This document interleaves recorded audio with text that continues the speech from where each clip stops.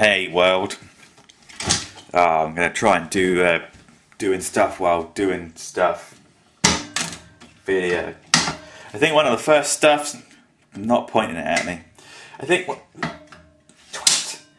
One of the first stuffs that I want to point out is that every day, every day, um, the, the people that work at the yard out the back have to. I didn't put the hot water on. Every day, the people who work at the yard out the back, um, they. Uh, one of them keeps a dog here. The, the dog's nice enough in itself, I guess. I'm not really a dog person. I love the Ziggy. Uh, but I'm not really a dog person. It's not really my kind of thing. I don't particularly. It's not that I don't like them, it's just. I don't understand the emotional attachment that people put on dogs. It's just a dog. Um, anyway, for example, this morning, uh, I call this particular dog the Black Death. Do you remember? Uh, I think I spoke in a vlog a couple of months ago about the fact that someone left their dog here and the aforementioned dog not only was a pain in the ass, but ripped up all the vinyl flooring for the kitchen and we had to wait for like six, eight weeks to have new flooring put down. Uh, so 8 o'clock this morning, well, quarter to 8 this morning, all I had downstairs, scratch, scratch, scratch, scratch, scratch, scratch. So, uh, yeah, we got one of them. Um, that's the Black Death. Uh, Black Death, if I, if I were to give you any message at all, you're looking at me, so it means you're listening. Shut the fuck up! Say yes, Dave. Yes, Dave. Not fucking listening. What are you fucking looking at? Eh? What are you fucking looking at? Wagging your fucking stupid ass tail. So yeah, animals. It's got to live in a cage. Him and Ziggy don't particularly inter. Well, they do interact really well, but he tries to dominate Ziggy. He's all fucking beaten up on his ass. It's not good. And he's got back bad back hips apparently. So before any of you ring the RSPCA and go, "Why that dog in a cage?" The dog's in a cage for a reason. All right. I don't really know exactly what that reason is, but if I were to be honest, if we substitute substitute no for care, we're probably sort of close on the reason. I'm about to start doing stuff with one hand and the other hand. we're gonna see how. Whoa! But it's not working. Why do I love to laugh on camera so much? What is it about me? I'd love to go sit with a psychiatrist for an hour and he's just like, Dave, why do you love to laugh on camera so much? I think it's because I like to watch myself back laughing. It's good to laugh. Everybody should laugh more every day. Um, Deviant's back of holiday and I still haven't seen him. He's been back for about three million years. He can't put me into his busy lifestyle. It's fine. I know he's busy. Uh,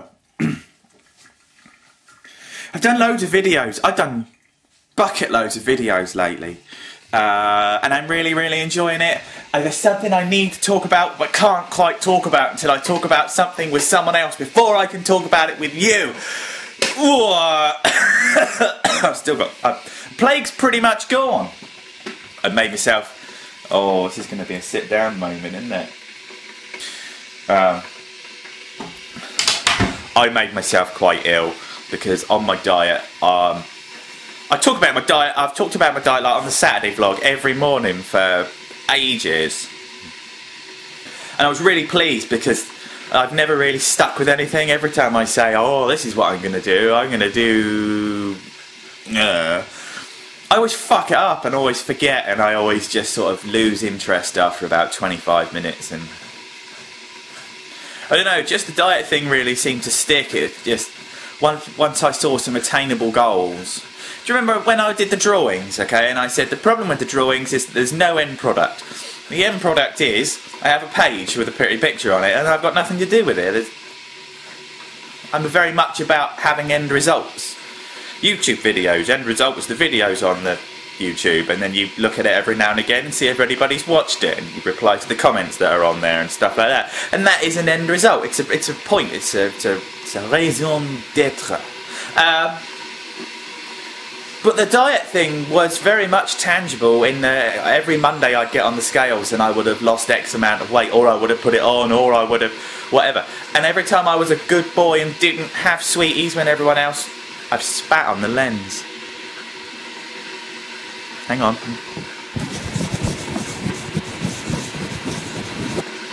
Normal service has been resumed. um, it, it, was just nice and tangible. And uh, I don't know, I kind of fucked up because a woman, a woman of my age, a lady, is supposed to eat about 18 points a day if you go on the Weight Watchers plan, the budget, the thing. Um, a man of my age is supposed to eat about 22. I've been eating about 14. And while I didn't make myself ill from a kind of anorexic, bulimic, puking every morning to stay thin kind of way, I didn't do anything that was particularly over top in that in that manner. I just wasn't eating enough to stay healthy, and I think my body just went, "You've had enough!" And um, I got a, a, some shitty virus just one of 53 million generic viruses that just makes you go, you don't feel very well.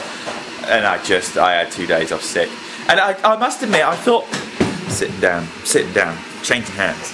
I thought with my two days off sick, it would be really kind of, oh, let's do loads of videos. And I'm off sick, man, so I'm not at work. So I've got loads of time to watch YouTube and movies and make films and edit on the computer upstairs and all that kind of jazz, right? Do you know what I did? Do you know how much I did?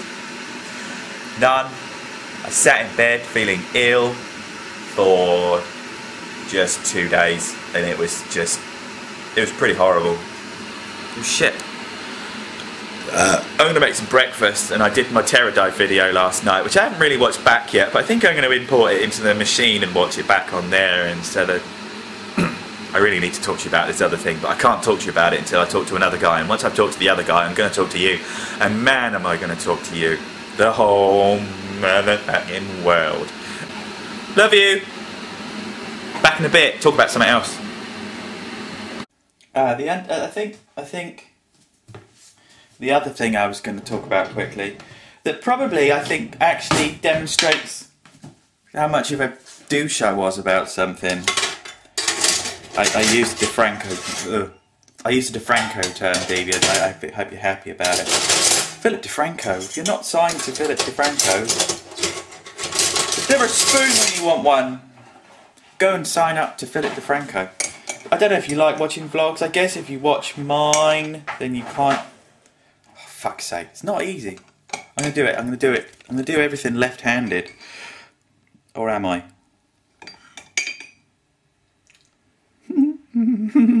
it's not going well. Balancing on a Sunday morning. It must be a Sunday morning because I've got hair sticking up. It's all good. Um, I moaned. I moaned about something. I had a really good bitch because we've never got any fucking toilet roll. And I'm the only one who ever really buys toilet roll. And I think it's because I live in grown up land where you have to provide for yourself. and the other two kind of, I don't think they've really come from that background. So I sat and had a really good fucking loud bitch the other day about blah blah blah, you never buy any fucking toilet roll, don't come to me with your problems because this is the real world and you're not fucking providing for it. Now Philippa has bought toilet roll once before, which was cool. Uh, and then this weekend, we've got 9, 10, 11, 12, 13, 14, 15 toilet rolls in the house because they've both gone, better buy some bloody toilet roll before Dave goes on anymore. Uh, does this make me a douche? Does this make me a douche that I moaned so profusely that they felt the need to go and actually do what I'd asked? Or is that just. Woo! Is that just me standing up for myself? Which one of the two is it? Oh shit, the toast's popped. So now we got more toilet roll than you can shake a stick at. So trust me, with that amount of toilet roll in the house, I'm going to be shaking my stick while watching gentlemen's reading material on the internet because we've just got loads. Oh, there's people coming in. I'm gonna go. I gotta do breakfast. Okay, last couple of thoughts on our little tete-a-tete for today. Uh, firstly, I'm very pleased about a couple of things. Uh, Straxus! Yeah! Uh, awesome. And...